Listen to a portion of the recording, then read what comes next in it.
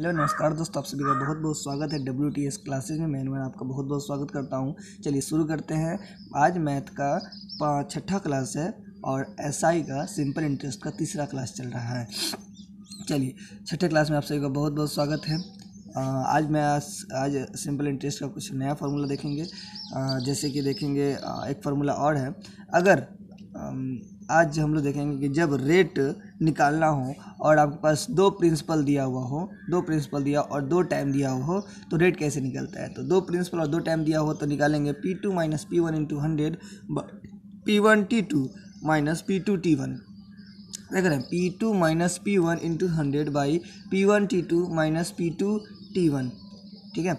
और अगर पी निकालना हो पी निकालना हो। रेट निकालना हो तो ये लगाएँगे पी निकालना हो तो P one T two minus P two T one बटा T two minus T one देखें? देखिए अब ऐसा क्यों हुआ? इसको उल्टा किया गया ना तो ये आया P two minus P one को यहाँ पर पी मान लिया गया। अगर हम इसको पी मान लेते हैं, अगर हम इसको पी मान लेते हैं तो ये आर से ये टकराएगा? टकराएगा?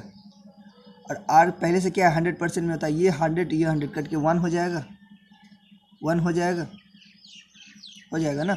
और ये P two minus P one की जगह पे T two minus T one डाल दिया है। ठीक है? आगे बढ़ते हैं।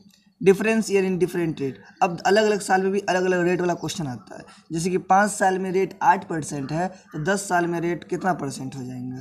तो अलग अलग टाइम में अलग अलग होता है तो उसमें हम लोग ये निकालते हैं। अगर कभी कभी एक्स्ट्रा ईयर ले लेते हैं, जैसे कि पाँच साल में रेट आठ परसेंट के हिसाब से चल रहा है छः साल में छः साल में रेट नौ परसेंट के हिसाब से चल रहा है, दस साल में रेट बारह परसेंट के हिसाब से चल रहा है तो बताइए सम कितना होगा? तो उस वक्त पी निकालने का फॉर्मूला होगा I into hundred but R one into T one plus R two into T two plus R three into T two और अप टू इन्फिनिटी तक अप टू इन्फिनिटी तक ऐसा क्यों? देखिए सिंपल क्वेश्चन है।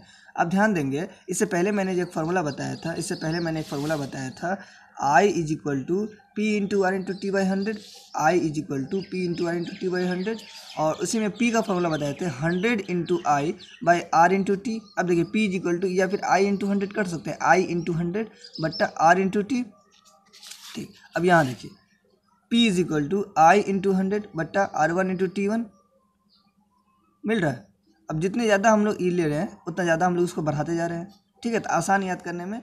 सो अब आज का लास्ट